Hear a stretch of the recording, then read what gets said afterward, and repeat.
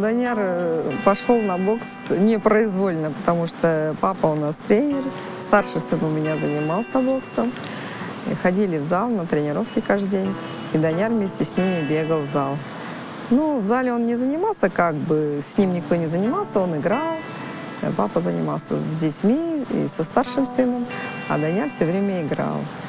Ну, а поняли мы, что он серьезно начал заниматься в тот момент, когда он попросил сам. Папа говорит, можно я с тем мальчиком буду работать? А на то время этим мальчиком, они на два года старше были, уже, уже занимались у нашего папы. И Даняр говорит, я с ним буду боксовать. Отец говорит, нет, нельзя, ты еще маленький, во-первых, ты еще не занимался, ты просто бегаешь, играешь. Он говорит, нет, я его побью. Он говорит, как так? Ну, давай попробуй.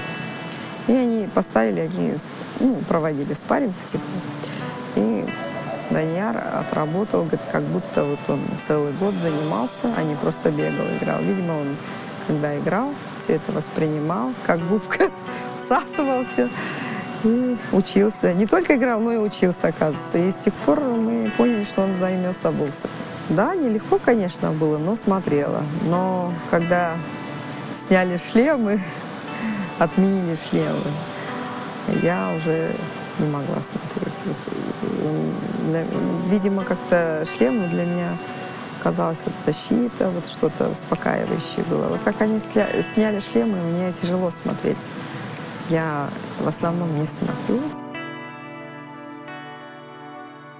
У старшего сына э, большой мальчик, уже пять лет, он с ним боксует в перчатках.